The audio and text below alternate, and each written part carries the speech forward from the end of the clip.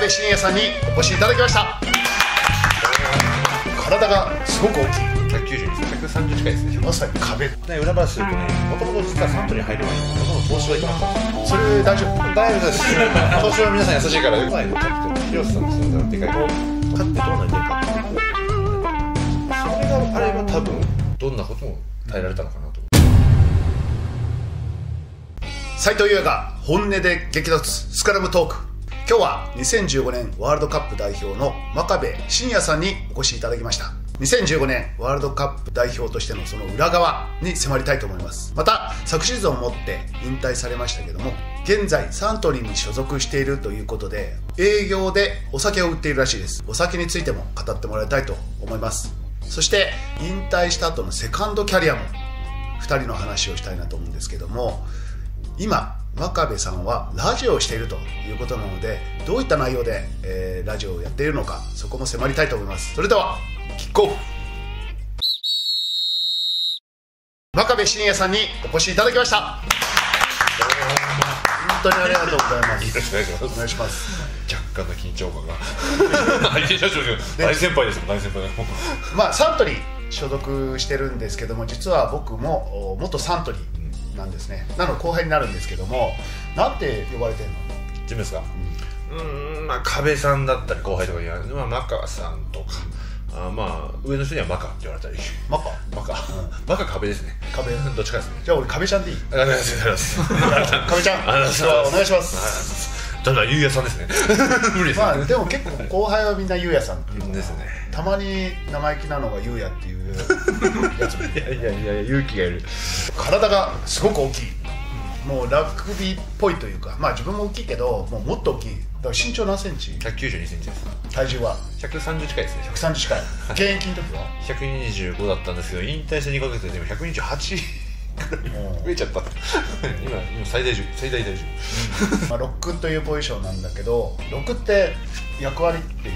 と正ロックだからあれ、さロックやってた。ややってたけど でもロックはね高校からラグビー始めて、はい一番最初にやっぱロックをやらされてそれからナンバーエイトなんでね、で大学も1年生の時はロックであとはずっとナンバーエイトで。だから2年間ぐらいしかやってないのかロックって基本的にあれですよね。ラインアウトとか、うん。スクラムとか、セットピースってやるやつの、要するにもう核となるリーダー的存在になるべきポジションなんですよ。なんで僕みたいに、僕結構そういうこと苦手で、どっちかというと地上戦で、な、もう相手をなぎ倒す系だったんですよ、そういうロックってやっぱ世界的に見てもあんまりいないなっていう、大体もうもうちょっと身長高くて細くて、うん。そういうセットピースに重きを置いているのがロックになるかな、なんかイメージ的にもうまさに壁っていう感じだよね。まあ、そうですね。パワフルでだから本当にそういうフォワード戦の密集したところで活躍してる姿は印象的、ありがとうございます、まあ、ずっと活躍されてて、まあ、そもそもラグビーを始めたきっかけは何歳から高校の途中ですね。途中なの？最初バスケ部でしあそた最初バスケ部で。バスケ部っていうかバスケで大高校行ったんですけど、あのね仙台工業っていう、うん工業高校だったんですよ、で工業高校だからなんていうんですかねちょっとやんちゃな方もたくさんいて、あのバスケ部がこういうバイクに乗ってたり。で土管単乱だったり。やんちゃな方がいっぱい行くところに入っちゃって、で私も優等生で入ったんですけど、すぐ流されてまず土管買って短い単乱買って。体もでかいからちょっと怖いよでなんか T シャツで帰宅部になったんですね。で帰宅部で帰ってる時に生徒指導されたんですよ。バイクで帰ってたから、うんそしたら、まあ、その生徒指導した人が滝井先生って言うんですけど、ラグビー部の顧問だったんですよ、とりあえずお前こんなんでくすぶってないでラグビーやれってことでラグビーじゃなくてタッチフットやってました、まあ、バスケで入ったから意外とできちゃった。ハンドリングがね。今は全然ハンドリングダメなんですけど当時はね結構ねバスケうまかった。でねそううまかったんですけどねラグビーが結構うまいんですよ。ラグビー以外は。なんかそういうイメージないよね。なんかもうドーンっていううん。プレースタイルだもんね、そうですね、スポーツで一番苦手なのがラグビーなんですよね。他は結構うまいんですよ。いや、本当に。いや、本当に。これ誰も信じてくんないけど。なんかちょっとかイメージが違っただからなんかスクローズ世代じゃないのにねなんか田舎の田舎の高校でこう不良が正すためにラグビーをやったね昔はそういう選手は多かった不良？うん、まあ見た目だけ？憧れてる存在？そうね、何していいか分かんなかったから、もうとりあえずそこに入ったわけです。その時に、まあ、道作ってくれたラグビーだったっていう感じですね。ででもすごくいい出会いだよね。それが日本代表になってねワールドカップも出て。ね。お友だね真面目だったから。面白いと思ったらもうもうあ高校時代から毎日朝に一人でやってましたあすごいね。真面目だもんね。素晴らしい、そう。まあ、カットカットするかもしれない。そんなつまんないところはカットしちゃう。いやそうなんですよ。なんかね最初のでそれでタッチバックやって面白いなって入部して、最初の試合にパンと出された時にタックルが怖くてできなかったんですよ。でも先輩たちはめちゃめちゃタックルいくんですよ。すごいと思っちゃったね。先輩たちがなんかすごい大人に見えちゃった。なんでこんなことできるんだろう。こんな怖いことなのにと思ってのめり込んでたっていう。あーそのコンタクトで自分の強みを見つけたのかな。ど。んどんそれで自分がそのコンタクトが強いってことに気づいて、まあ、成長してって。そうですねね。そうですね。先輩たちがすごいと思って僕もそうなりたいと思ってコンタクトしていったら、まあ、だんだんと強みになっていったっていうのがありますね、ちなみに高校の時は体重どれぐらいだったの？身長と。身長で186なぐらいあったんですけどあ大きいね。ででかかったんですけどバスケやってたんで、本当に80キロ90キロあ80何キロそう。まさに競技性で競技によって全く体型変わるもんね。だからバスケは、まあ、ラグビー以上にこう俊敏でなければならないからしかも走る切り返しも多いから、はやっぱこんな大きいのいないもんね。一番まともでしたね。まとも。まともなまともな人間だったっす。はい。でどんどんどんどんそこから40え違う。3040キロ120過ぎてますもんね。30キロ増えてで高校で、まあ、ラグビーでやってで大学は？中央大学です。で中央です。それはもうラグビーで？ラグビーで入ったて。1年生から出てた1年生から出てましたね。すごいね。中央大学を卒業して、まあ、サントリーそうですね。に入るきっかけは？その前に。斉藤優也さんに憧れて大体の が知ってました。ハンドオフの片手のそれというやつちょっと。裏話していい？クラブハウスに名前が貼ってあるじゃない。えあれって代表選手の名前が貼ってあるんだっけ？えいや在籍してた？100キャップ以上です。俺の名前が入ってるの何？あれ。え100キャップ入ってないんですか？多分100試合も出てないんだよ。お多分でも名前があるんだって。100試合出たらだって2年間しかいないから。あの写真付きですか？いや写真はついてない。名前だけ？名前だけですああれは代表かあ代表か。在籍の人か。そう。その斉藤優也の優也の優の字が違ったの。違うらしい。で直接見たわけじゃないんだけど写真送られてきて名前あるねって言って「え俺の名前違う」っつって。でこれを通してちょっと気づいたら直してもらわなきゃいけないあ大丈夫です。直接直接真壁のまんま違うから大丈夫です。まあまんま違うんで。僕も黙ってます。ああまあいいやと思って。でまあサントリーで、まあ、仕事をしながら、まあ、ラグビーやってるのね。あそうです。サントリーでトップリーグで活躍して日本代表に選ばれるじゃない。ねで日本代表はいつ呼ばれたの？一番最初は。まあ入ってすぐですねサントリー入って。はい。その時監督は？監督はジョジョン・カあそうだジョン・カーだ。ーね裏話するとねもともと実はサントリーに入る前に僕ほとんど東芝で決まってたんですよ。それ大丈夫？大丈夫です。東芝は皆さん優しいからよくあのお前とりあえず一杯飲めでいつもすぶんで。そうあの東芝は決まっててなぜかというと大学から社会人に入りたかったから、なんとかしてこうつてを作りたいと、うん。トップリーグやりたかったんですよ、だからたまたまジムが一緒だった東芝さんに練習させてくださいと。言って、何回も出稽古っていうかそんな感じにしたんですよ。その時にやらせてくれたのが訓田さんとか。うん。皆さんね。はい、軍田さんが日本代表に関わってたので、それでそのまま社会人に入ったら、呼んでやるよと言って言ったんですけど、それを呼んだ呼ぶことによってサントリーさんが僕に気づいて、来ないかと言ってくれて、僕お酒大好きなんで 仕事がしたいお酒にまさに流されちゃった。そう。まああと仕事をしっかりやりたかったっていうのがあるそのニュージーランドに留学したんですよ大学時代、そのニュージーランドのハミルトンのチーフスの選手たちが、みんなチーフスになりたいから、仕事をしながらラグビーをしてるっていう生活の中に僕も混ざってやってたんですよ。だからこういう文化って素晴らしいなと思ってそのに近かったのがサントリーだったんですうんうんうん。なんでそのイメージは強いね、はい、東芝さんには大変申し訳ないんですけどもうギリギリでバンって書いて「もうくんなさんにごめんなさい」って。言ってでもくんなさんを呼んでくれたんですね、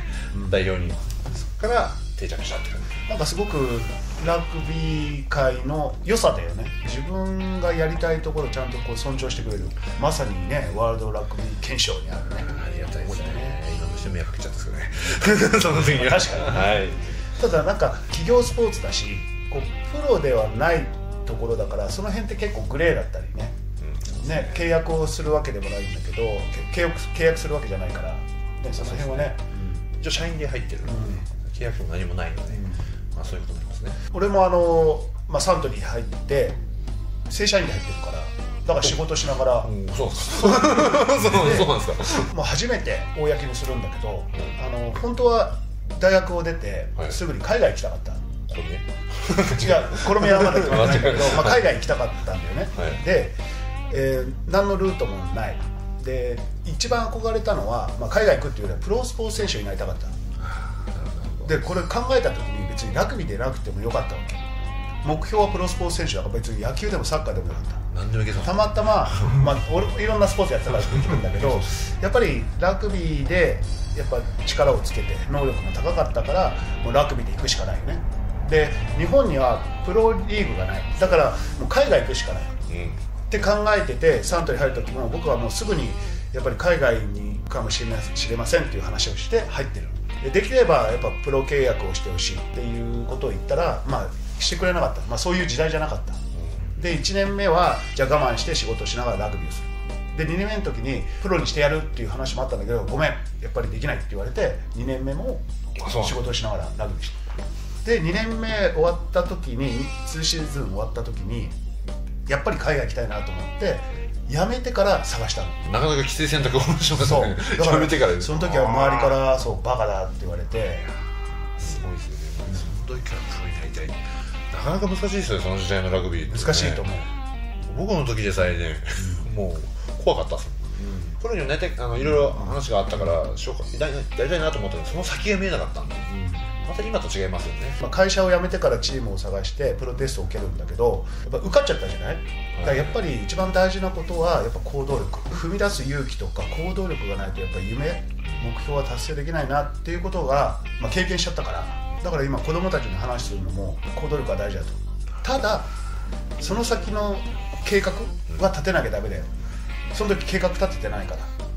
もう本当にそのこ行動を出して行動力でこうチームが決まったんだけどじゃあ終わった後何するかまでは考えてなかった。だかうん。ら結果的にまあいろいろ今仕事はしてるんだけどあのその全ては行動力から生まれてるんだよね、うん。いややっぱプロの人はすごいなすごいな。僕もなんですよまず動いてから考えますね。いいですよね。いやまあプロ選手はプロ選手のやり方考え方があってまた正社員は正社員のすごいところってあるじゃない？だからこれね今日ちょっと話したいのは日本のラグビー界、まあ、企業スポーツの所属している人たちって正社員がいてプロ選手がいてまた外国人のプロ選手もいてっていう中でそれってどういうふうに成り立ってんの？難しい。サントリーに限ってはもう社員だろうがプロと同じ環境を用意してもらってるんですよ。要するに環境を作ってもらえてるからまだ他とよりもいいと思うんですけどもそれが他のチームは果たしてそうなのかって言ったら多分違いますからね。難しいところは会社によって違う、例えばもう会社で仕事をしてる時に僕たちはやっぱその一緒に働いてる人たちがラグビー部っていうのを理解してくれてるから、そこをサポートしてくれてるんですけど、やっぱそうじゃない部分はやっぱあると思うんですよ、あいつはなんでラグビーばっかやってるんだって思ってるような人もいると思うのでそこはねうちの会社では少ないからうまくやっていけてるなと思いますね、うん、会社のサポートだと思うんです結局、ん。できてるとできてるのは、なんかそういう意味だとサントリーってすごくイメージがいいよね。なんか一つになってる。サントリーの社員もみんなラグビーを応援してサポートしてる。で今サントリーもすごいね世界のトッププレーヤー世界のワールドカップに出てたね。人も呼んだりとかね。すごいいいチームになってきてるね。だからラグビーのそのやってきたそのなんか流れとかストーリーを仕事に生かすためにももう一緒になんか会社として盛り上がってるって感じがしますね。どうなんですかね。どうなんだろうね。あの、まあ、神戸製鋼にも入っていてで最後トヨタ自動食器なんだけど当然、まあ、正社員のプレイヤーもいてでプロ選手もいたんだけどもう神戸製鋼トヨタ自動食器はもうプロでプロ契約してて。でトヨタ自動食器なんかはもう一人だけだったの日本人、だからちょっとね浮いてしまう。浮いてしまう。浮いて浮いてたで外国人プレイヤーはみんなプロだったんだけどやっぱり日本人だから日本人プレイヤーでこうなんか集まった時に一人だけプロだから後輩も多かったから仲間に入りづらいっていうのがちょっとあって。で仲良くなるためにはとにかくもう飲みに行くしかなくて。で飲みに行って仲良くなって、まあ、先輩だからねお金を出したりとかして,、してるんだけど「はいゆうやさんゆうやさん」ってみんなでなその時に仲良くなっていくみたいな結局お酒だっていう。ねまあ潤滑ですからね。ね。甘酒は。まあそうですね。ちょっと話に戻したいんだけどイメージが強いのが2015年のはいはいワールドカップ。でまあ、今回2019年のワールドカップはすごく盛り上がったんだけどその火をつけたのはやっぱ2015年のワールドカップ南アフリカに勝った試合ジャイアントキリングだって言われてたけどそれに出てた。出てたんだよ出ちゃった。でもそうだからテレビで テレビで出ちゃってた応援してたんだけどラグビーの試合を見て初めて涙を流した試合があの試合だった本当ですか？本当。で涙を流してから全部の試合を見てそしたら自然とラグビーの仕事が来るようになったりとかラグビーを指導する機会も増えたりとかすごくねやっぱあの試合は自分にとっても良くてであの試合からやっぱラグビーを見る人も増えたしだからすごく貢献度が高い。ありがとうございます。分かったけど。まあその南アフリカ戦の話をちょっと聞きたいなと思っててなぜ勝てたのか。まあ多分ねなんでかつか、まあ、もちろんエディさんが強くしたってのもあるけども、あの初代のキャプテンの広瀬さんの存在はでかいかなと思いますね、僕の中ではですよ、まあ、みんなもそう思ってるやっぱね彼がやっぱやっぱこう4年前その2015年4年前2012年に集まった時にやっぱりこう昔のジャパンも知ってるし、まあ僕もそうなんですけど JK 時代も知ってるし、まあ、今も知ってるんですけどその時はこう日本代表っていうものが、まあ、すごい先輩方に非常に失礼な言い方するんですけども、寄せ集めの集集まりでそこに誇りがない感じがしたんですよ、自信がないというか、まあ、それはすごく僕も感じてて初めて行った代表の合宿の時もミーティングがスクラムは外人に負けるからじゃあどうしようかっていうことです、押されてしまうからどうしようかっていう選択をしてて勝ちに行ってないというか。あそれもありますし代表に行ったらパフォーマンスが落ちてクラブチームに戻ってくるからクラブチームはあんまり出したくないっていう代表ファーストになってない時があったんですよね、でその時にやっぱ広瀬さんはこのままだとやっぱどんどんどんどん日本のラグビーがもう落ちていってるからどうにかしなきゃいけないねってことで日本のラグビーの現状を変えたいから僕たちが歴史を作って、まあ勝つことによって日本ラグビーっていうのを盛り上げていろんな憧れの存在になろうっていうふうに言ってくれたんですね。ただ勝つだけじゃなくてまあ、勝っていくことによってもう日本代表というのが日本でいい文化を作って憧れの存在になろうということを言ってくれたのがすごくでかかったです、はい。すごくいい話だね多分ワールドカップでかただ勝ったとしてもなんか多分ダメだと思うんですよね。何も残あじゃあまあ勝ってない。負け普通に負けちゃったとしても多分何も残せないと思ったんで、そう勝つためにどうするかってことを勝ってどうなりたいかってことをみんなに考えました。でエディさんはその勝ってどうなりたいかその勝つということの基準をしっかり作ってくれた、要するに目標をしっかり立ててくれた、トップ10になることと、ワールドカップで勝利をすること、これをすれば、まあ、僕たちは日本のラグビー界でヒーローになれるぞっていうことを言ってくれた、そのためにはどうするかっていうことを教えてくれました。でそういうことにやっぱ言ってくれると、強いイメージが入る。確かに。頭の中に、勝ってどうなりたいか、日本ラグビーだから僕がイメージしたのはそれがあの本当にこの今年のワロシア戦だったんですよ、あの姿、あの姿イメージしたの。あれになりたいと思ってずっとやってたんでそれをイメージしてたらめちゃめちゃ頑張れたんですあんまり目標もなかった人間だったんですけど、だからそういうでかいイメージを持つっていうのは非常に大事だなと思いました、だから明確な目標を持ってその目標からイメージを作ってそれがあれば多分どんなことも耐えられたのかなと思います、素晴らしいね。だから南アフリカに勝つっていうことはおそらく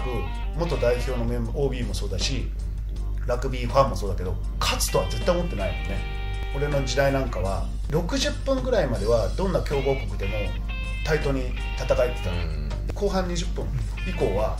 だんだんこう点数が離れるイメージがすごくあってだからその時点でもうマインドがそうなってるんだよね。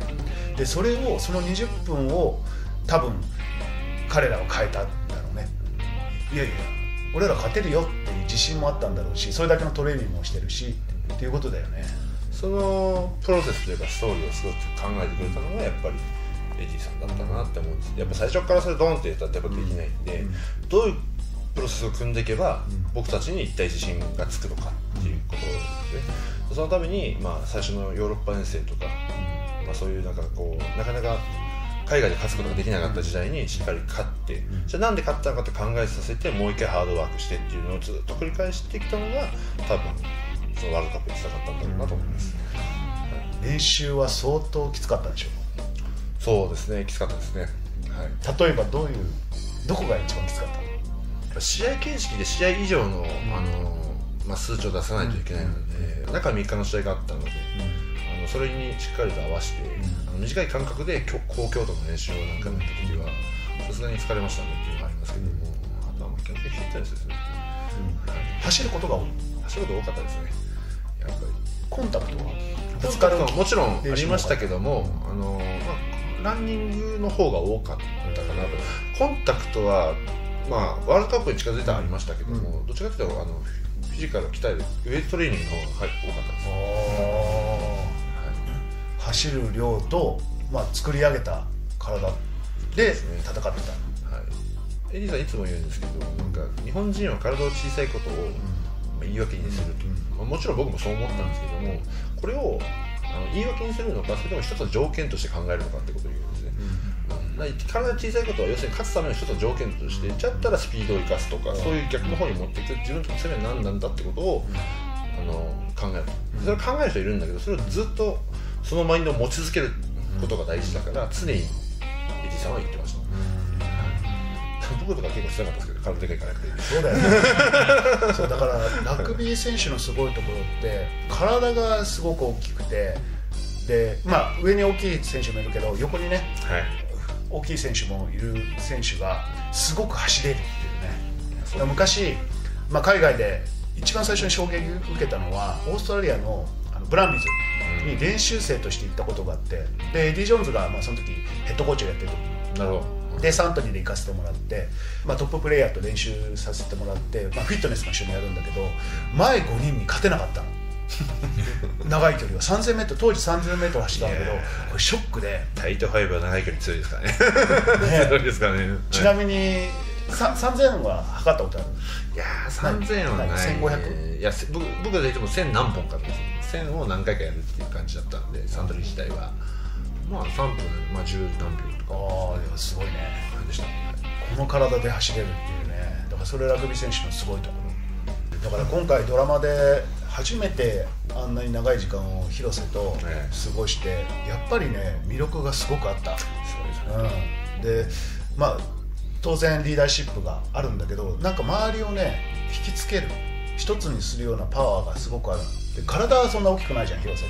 て。でもなんかねオーラがあるというかね。やっぱり一つのことにしか考えて、自分なりの言葉で喋ってくれるから、みんなそれについてくるんですよね、ね、もう偽物じゃないっていうのがい。い本当にまあその2015年でそのラグビー界を変えてえー、ラグビーファンとか、まあ、ラグビーを知る人たちのマインドも変わったと思うんだよね。南アフリカに勝ったことによってあ世界に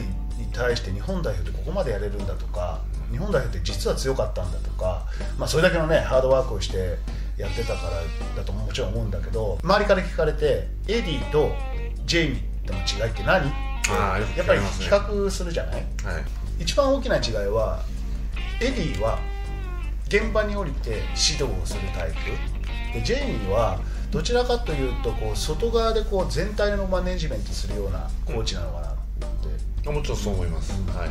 まあ、ジェイミーの場合はねあのトニー・ブラウンっていう素晴らしい、うん、あの右腕がいたので、彼と2人でどういうラグビーかを考えていったので、エディの場合は全部1人で考えて、であのコーチたちを自分の思った通りに動かすっていう方が強いんでまた違うタイプだなと思いますけど、まあ、でもまあ難しいのはジェイミーだと思ったと思いますよね。15年の時にやっぱエディが作ったその歴史っていうのをやった後に、まあ、要するに日本に自信がついたんです、で今度はその自信をしっかり実力にしないといけないんですよ、その実力を作るためにどうするかってことを非常に考えた人だと思うんで、まあ、結局、あのー、すごくいいなと思ったことはエディの時は選ばれた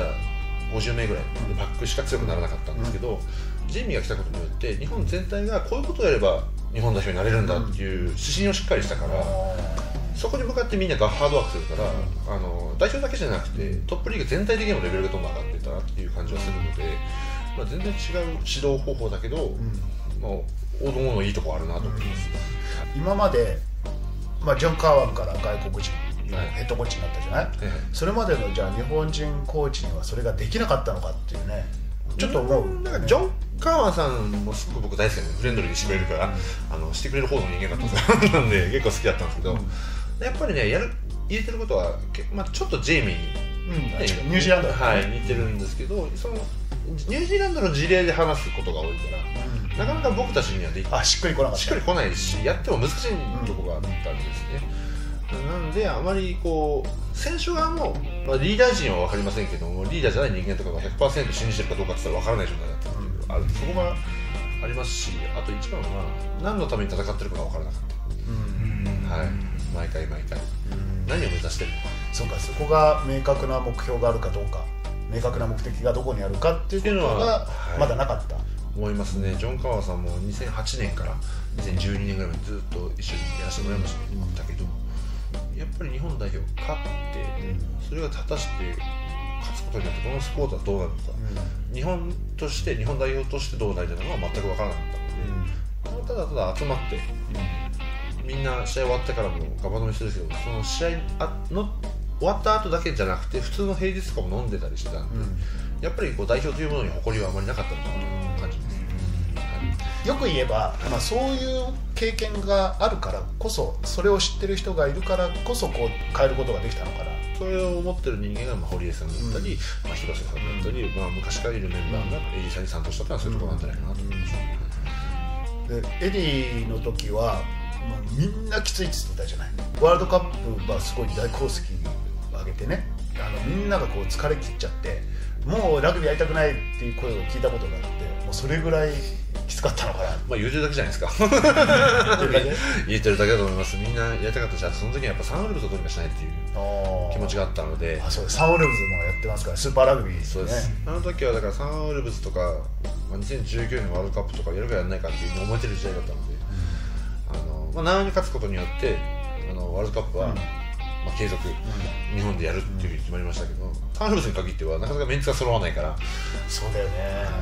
チームが出してくれないていうのがあったしなかなか難しいのがあったから、まあ、堀江さんがもうやろうやっつって代表でやろうやってなって、まあ、僕とか、まあ、浜野さんとかみんなで最初の代表メンバーがそのままその流れでしんどかったけどやってっていう感じで。もあれもすごく感動したよね。だからスーパーラグビーに日本人が出るっていうこともすごいと思うし日本のチームを作ってね参戦するっていうことが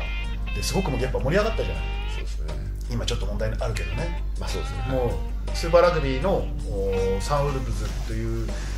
チームがもう参戦できなくなる。だから今年で終わりだよね。ちょっと寂しいんだよね。結構ねあの存在は僕はでかいと思ってるんですよ、でさっき言ったように2015年はあのまず日本にね勝てるっていうその自信を芽生えたと思うんですけども、じゃあ今度はどうするかっていうその15年から19年の間で何が成長したかっていうとやっぱり爆発が増えたっていうのが一番でかいと思ってるんですよ、でやっぱ世界と戦うことができる場が増えたっていうのが、多分今回のその4勝リーグ戦4勝したのはでかいと思っていて、そのためのサンウルブスがなくなるっていうのは今後の日本代表にとってはすごく痛手かなと思ってるところなんですね、なんかもう勝てないからしょうがないとかお金がないっていう人もいるんですけど本当にこれでよかったのかなとは疑問には思ってます、もうサントリーが買収したら？サジさんお願いできないかな。サジさん見てますからね。そう思うんですよね結局爆発を踏むことが大事だと思うんで今この19年で戦った選手っていうのはみんなサンウルブス経験して世界がどんなもんかっていうのを触れてることが多い日本のそのトップリーグだけだったらちょっと厳しい。だとまた違いますからね。全然,、ね全然違うとねはい、正直なところを言うとやっぱりこの間の開幕戦すごい楽しかったですけども、やっぱりテンポ遅いなとか思いません？ちょっとに。なんか止まりすぎだとか。あのねこれねあの秩父宮 FM っていう競技場に流れるラジオを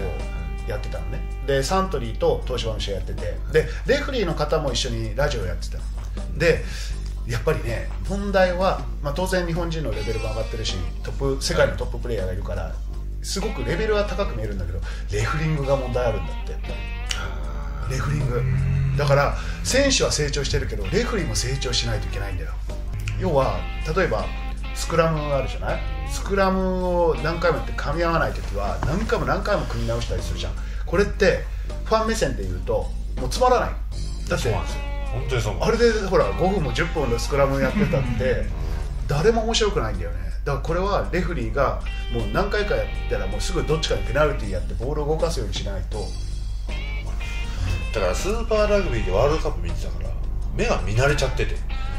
これの試合見たらちょうーんなんだろうゴルフ見てんのかなと思ってたあそうあの分かりやすい。あの眠くなってきちゃうよね。だから止まってる時間が長いとどうしても。だこれがあるとどんどんファン消えるんじゃないかなと思ったら多分知ってるファンこ今回来たにわかの人たちっていうのはあのスピーディーなラグビーを多分楽しみにしてると思うから、そ正直で僕にはどうしたらいいかわからない。そういった思いをやっぱどんどん発信してって仲間を増やしていって、嫌われんだろうなレフェリーまあいいか僕にいいか。あのやっぱりね最近はあんまりこうや言わないようにしてたんだけど、うん。いやいい方向に持っていくためにいいことを言う。当たり前のことは当たり前のように言葉に発信するってことはやっぱすごく大事だなと思っててで今この YouTube を通してルールもうラックからモールからスクラムからっていう話をしてて当たり前のことなんだけどでも実はラグビーを初めて見る人って知らないじゃん。だからそういう当たり前のことをやっぱねどんどんやっていかなきゃいけないなっていうのもこの YouTube の始めたきっかけ。本音を言い過ぎてちょっと怖いな。えどういうことどういうこちょっと怖いいや大丈夫。レフェリーを責任回しちゃうこれでサントリーの笛が厳しくなった それはない